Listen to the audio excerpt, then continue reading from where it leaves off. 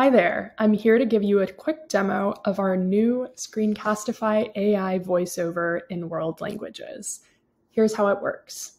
So as the video creator, earlier today I created this video on exploring the Earth's layers and I added captions to it and shared it with my Screencastify watch page link.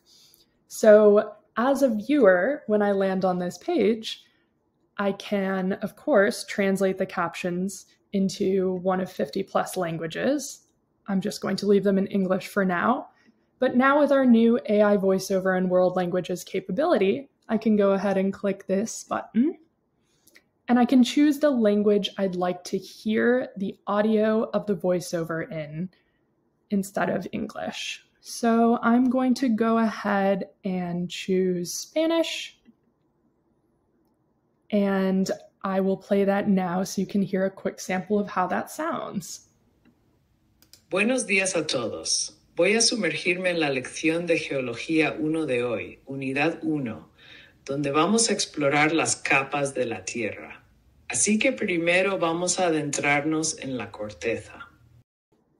This voiceover translation is a great capability for better connecting with parents or guardians who have a different first language than English. It's great for supporting ESL students or English language learners or language learners of any kind, really.